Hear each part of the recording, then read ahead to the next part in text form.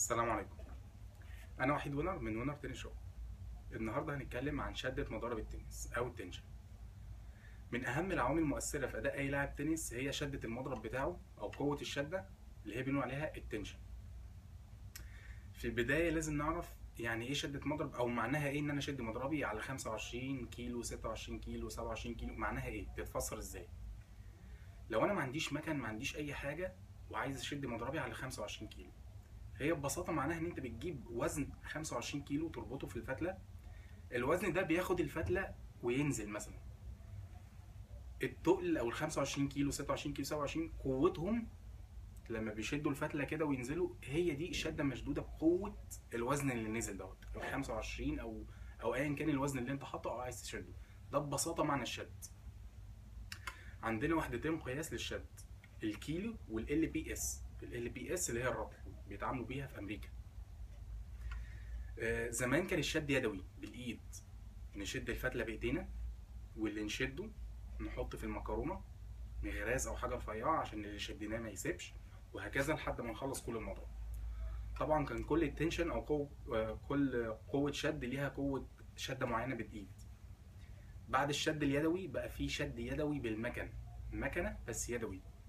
نحط المضرب على المكنة وقوة الشد بتيجي عن تقل مع المكنة بينزل 25 26 بياخد الفتلة وينزل هي دي قوة الشد. بعد كده والحديث دلوقتي مكن digital أو بالكهرباء. بنحط الرقم بالكهرباء والمكنة بتشد. والمكن ال digital كل مدى ما بيتحدث.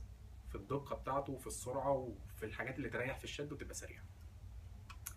ده باختصار عن الشد والمكن في نقط مهمة جدا بقى نعرفها عن الشد وال tension. نقط بإيجاز لكن مهمة جدا وسريعة عشان ما أطولش على حضراتكم أول حاجة آه، يعني إيه شدة تدينا power يعني إيه شدة control وإمتى الشده تدينا power وإمتى الشده تدينا control اولا الشدة أقل من 4 من أقل من 25 كيلو هتدينا power تساعدنا في ال power الشدة الاكثر من 25 كيلو هتساعدنا في ال control طب ليه الشدة القليلة تدينا power وليه الشدة الكبيرة أو ال- الرقم العالي يدينا control الشده لما تبقى خفيفة أو طرية 4 25 كيلو واقل أقل من 25 كيلو الفتلة بتبقى مرنة. فبتمتص الكورة وتديها power تمتص الكورة تديها power أول لما الكورة في- تيجي فيها تمتصها وتديها power عشان الفتلة فيها مرونة. الفتلة لما بتبقى أكتر من 25 أو ناشفة الفتلة بتبقى ناشفة ما بتمتصش الكورة ما بيبقاش فيها مرونة. فبيبقى فيها دي بنقول عليها بتحدد لك مكان بت- بتساعدك في ال control بتساعدك تعمل control على الكوره ده باختصار إن الفتلة الطرية بيبقى فيها مرونة فتدينا power الفتلة الناشفة بتبقى ناشفة فبتساعدنا في ال control شوية بيبقى ال power قليل فتساعدنا بالتالي في ال control. ده بالنسبة للفتلة أو الشدة ال power والشدة ال control. إمتى أو ليه يفضل دايما نشد الطول أكتر من العرض؟ ليه يفضل دايما لو بنعمل فتلة بوليستر نشد الطول أكتر من العرض أو فتلتين من نفس النوع نشد الطول أكتر من العرض. أنا هقرب أشرحها لحضراتكم. إحنا في الأول بنشد الفتلة بطول أكتر من العرض عشان حاجتين مهمين جدا. أول حاجة حضراتكم شايفين المسافة بتاعت الطول ديت؟ مسافة الطول أكتر من العرض بمرة ونص أكتر من العرض. فانا مثلا لو شديت المضرب 25 طول و25 عرض ال frame أو ال head size بتاع المضرب ال frame ما بيبقاش مستريح بيبقى مضغوط بيبقى مضغوط لأن 25 دي غير 25 دي. المسافة دي اطول من دي فانا بشد دي كل المسافة دي 25 المسافة القليلة دي 25 الفريم ما بقاش مستريح. تاني حاجة إحنا عندنا الحمل أو اللعب كله في التنس على فضل الطول الحمل كله عندنا على فضل الطول هي العامل الأساسي. فأنا يفضل دايما أشد فتلة الطول أكتر على الاقل كيلو أو كيلو ونص 2 كيلو مش أقل من كيلو مش أكتر من 2 كيلو لأن فتلة الطول بتريح أسرع من فتلة العرض. فلو شديت دي 25 ودي 25 فتلة الطول هتريح بسرعة مش هبقى حاسس المضرب مش هبقى حاسس التنشن. لأن خلاص الفتلة العامل الأساسي بتاعي ريحت أكتر من الفتلة العامل المساعد. فيفضل دايما نشدها 25 عشان لما تريح تنزل لل 24 اللي هي العرض. إمتى أشد العرض؟ الفتلة العرض أكتر من الطول في حالة واحدة بس.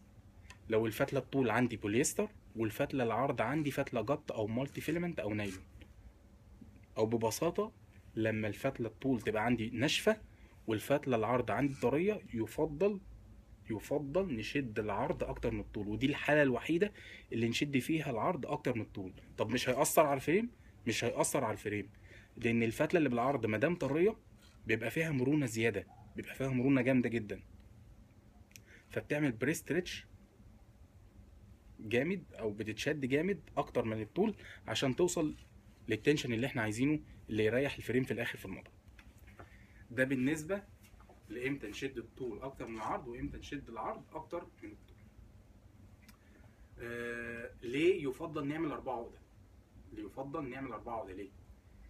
أربعة عقدة من وجهة نظرنا إحنا ك Winner بتخلي المضرب يحتفظ بال tension أكبر وقت ممكن. أنت اولا لو هتعمل فتلتين مختلفتين فتلة طول وفتلة عرض غصب عننا هنعمل أربعة عقدة. بس دايما لما بنعمل إحنا دايما عندنا في Winner بنعمل أربعة عقدة لأن الأربعة عقدة ما بتخليش الفتلة تريح بسرعة بتحتفظ بال tension أكبر وقت ممكن. معنى كده إن الاثنين عقدة مش كويسة لأ الاثنين عقدة كويسة جدا. بس إحنا شايفين إن الأربعة عقدة هي بيبقى فيها مجهود زيادة شوية أو بتطول شوية بس هي أحسن شوية لل tension بتاع المضرب ما يريحش بسرعة. آه، لو أنت لاعب بتلعب على ال clay court دايما لعبك كله على ال clay على ال clay court وهتلعب على ال hard court. يفضل دايما تزود ال tension بتاعك تزود ال tension بتاعك من كيلو ل 2 كيلو لأن ملاعب ال hard court ملاعب سريعة. فعشان تعرف تعمل control كويس لو أنت متعود تلعب على ال clay court. لو أنت لاعب بتلعب على ال hard court دايما وهتلعب على ال clay court قلل ال tension بتاعك كيلو. ملاعب ال clay court بطيئة شوية. آه، لو أنت لاعب. ال professional دايما بيركزوا في الحاجات دي. في الشتاء في الشتاء بيقلل ال tension بتاعه شوية.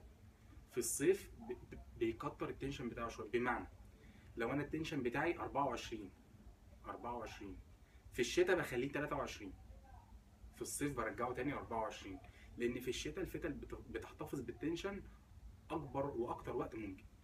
في الصيف الفتله بتريح بسرعة فبيفضل بنشدها زيادة شوية.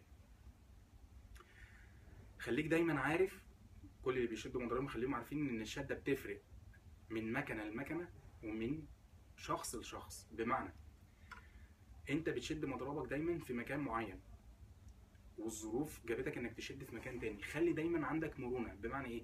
أنا لو بشد مضربي في مكان دايما 25 المكان التاني على الأقل لازم أعرف المكنة دي بيتعمل لها معايرة مكنة قديمة مكنة جديدة. فمش مش كل المكن بيطلع ال tension واحد زي بعض مفيش مكنة بتطلع tension زي زي التاني. في مكن بيتعمل له معايرة وفي مكن لا.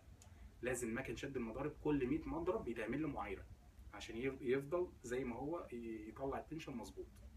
فأنت خليك دايما لو بتشد في مكان 25 المكان التاني أعرف إن مثلا الشدة بتاعته آه، دي الشدة المكنة دي ناشفة فقلل شوية المكنة دي ضعيفة فاكتر شوية خلي دايما عندك مرونة في الشد ما تشدش في كل الأماكن نفس ال tension وترجع تشتكي تقول إن الشدة هنا ضعيفة والشدة هنا قوية. لا انت تبقى عارف ان المكن غير بعض. الشد بيفرق من شخص. من شخص لشخص حتى لو على نفس المكنة. كل واحد بيبقى ليه طريقة في الشد معينة. فبتفرق معاك انت في ال tension بتاعك وفي الشد بتاعك. اللعيبة ال professional دايما بي... بتفرق معاهم حكاية إن هيلاعب مين؟ هيلعب على ملعب إيه؟ الهوا معاه أو ضده. مثال بسيط عندنا فيدرر. فيدرر بيبقى معاه على الأقل تسع مضارب كل ثلاثة ب tension. كل ثلاثة ب tension.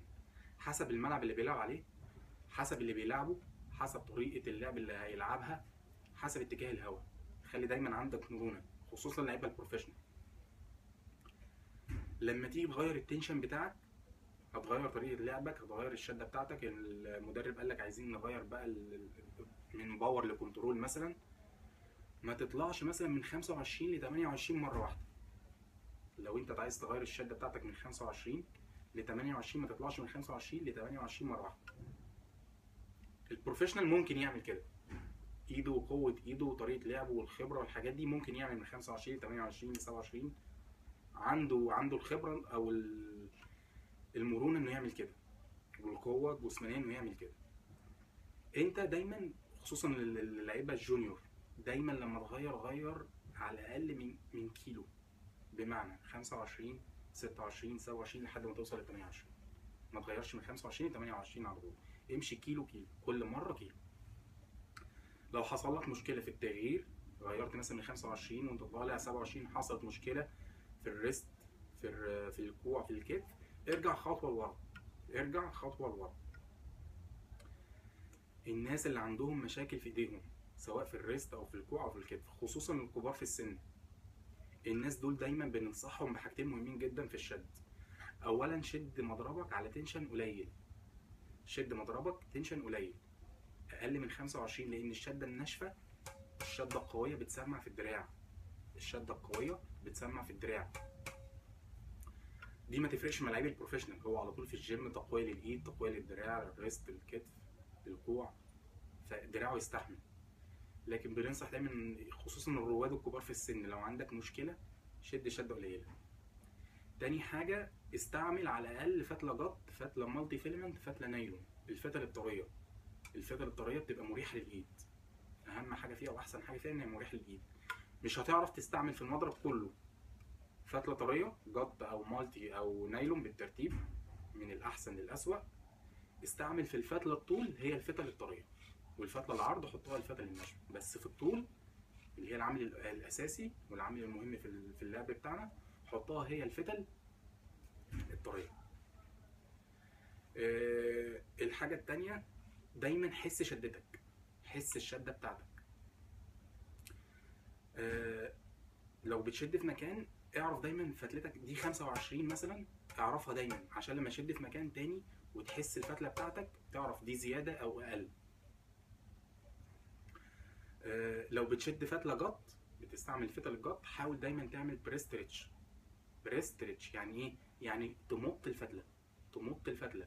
كل المكن ال digital الحديث في حاجة اسمها pre-stretch من 5% لحد 25% أو 20% بتختارها أنت حسب نقطه الفتلة بتاعتك.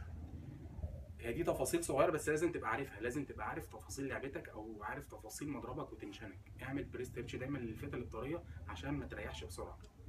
pre-stretch ده يعني بنمط الفتلة زيادة لأن الفتلة الطريه بتريح بسرعة.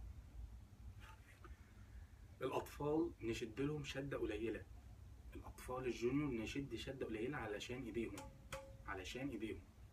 أهم حاجة في الأطفال في ال junior الشدة تكون قليلة. الشدة تكون قليلة وبالتدريج لما يطلع لل tension شيك على مضربك قبل البطولات. دي مشكلة بتواجهنا في شد المضارب هنا في وينر اللعيب بيجي قبل البطولة يبقى ساعة البطولة أو قبل البطولة بساعات ويلاقي مضربه هيتقطع مقطوع شيك على مضربك. مش لازم دايما مضربك يكون مقطوع عشان كده يبقى عايز يتشد تاني. مش لازم مضربك يكون مقطوع عشان يبقى عايز يتشد تاني. بره لما الفتلة بتريح التنشن بيريح بيشد مضربه. لو هو مضربه 26 27 وال 27 دي ريحت ما بقاش حاسسها ال 27 بيغير مضربه. لما بتفضل فتره طويلة بمضربك مريح بيسمع في إيدك بتعمل مجهود زيادة عشان تطلع الكورة. خلاص الفتلة ما بقاش فيها انرجي ما بقاش فيها طاقة بقت ناشفة. خلاص هي مش مقطوعة لكن ما فيش منها فايدة. يفضل تغيرها عشان إيدك ما تعملش حمل زيادة على إيدك. خلي دا... خلي خليك دايما عارف انك لما بتشد مضربك وتسيبه كتير الفتلة بتريح. بمعنى إحنا لما بنشد المضرب في أي مكان وأي مكان أو أي حد بيشد بتشد المضرب وبتسيبه محطوط في خلال ساعة المضرب بيريح من نص كيلو لكيلو من غير ما تلعب بيه من غير ما تعمل أي حاجة. المضرب بيبقى طالع من على المكنة مشدود. بنسيبه ساعة المضرب بيريح من كيلو لنص كيلو. عشان كده اللعيبة البروفيشنال دايما بيشدوا مضربهم قبل البطولات بوقت قليل. في ناس بتشد مضاربها قبل البطولة بساعتين. بياخد المضرب بنقول عليه بياخد المضرب fresh الفتلة بيبقى فيها energy فيها طاقة. بياخد المضرب fresh لاحظ دايما دايما في البطولات الكبيرة لما بيغيروا الكور دايما اللعيب اللي بيستقبل بيغير مضربه حتى لو مش مقطوع. بره مفيش حكاية إن المضرب لازم يبقى مقطوع حتى لو مش مقطوع.